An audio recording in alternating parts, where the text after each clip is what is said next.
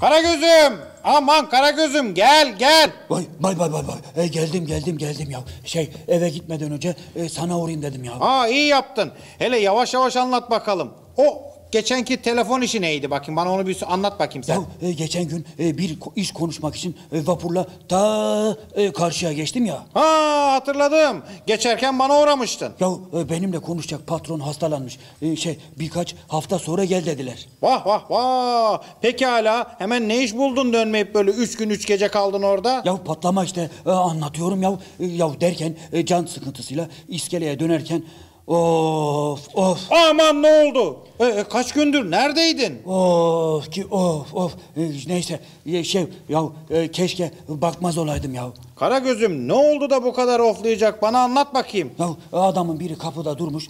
Gel kardeşim sen de ye sen de ye diye sesleniyor. Allah Allah ne satıyor öyle? Ya e, ben de merak edip yanaştım. Bir de ne göreyim vitrinde çeşit çeşit yemekler, tatlılar, içeriden mis gibi kokular geliyor ya. Aa desene adam reklam yapıyor.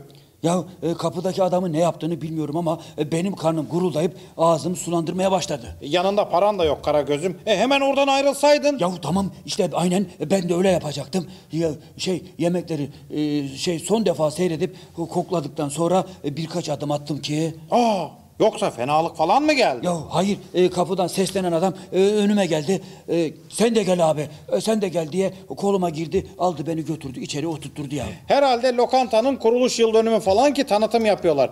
Belki de o gün yeni açıldı. Aynen. Ya ben de öyle düşündüm ya. Öyle düşünecek e, şey tabii öyle düşünecek hali mi var? Girdim içeri e, şey bir masaya oturdum. E, masalar yemeklerle dolu. E, bembeyaz elbiseli iki kişi e, beni karşıladılar. E, oturttular hemen masaya. Ee neler yedin bakalım? E, şey önce ne yiyeceğimi şaşırdım valla. Vitrinde gördüklerimi sıra sıra getirtmeye başladım. Oh oh oh oh oh. Benim de ağzım sulandı. Ya sonra? Valla e, şey masalarda e, şey benden başka yemek yiyen kalmadı.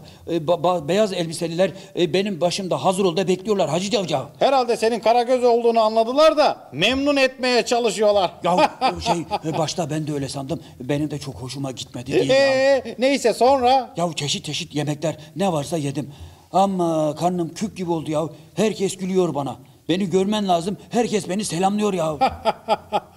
Aman ne güzel efendim. Keşke beraber gitseydik. Vallahi çok iyi olurdu Hacı Cavcav. Öyle daha memnun olurdum ya. E sonra nereye gittin Karagöz'üm? Ya hiçbir yere gitmedim gidemedim ya. E, kapıdan çıkıyorduk ki iki kişi girdi koluma e, beni tekrar e, içeri soktular ya. Eyvah yemeklerin parası değil mi? E tabii sende de yok. Ya e, onlara ben de aynen öyle söyledim. E, şey e, beni mutfağa hapsettiler. E, bir haftadır bulaşık yıkıyorum ya.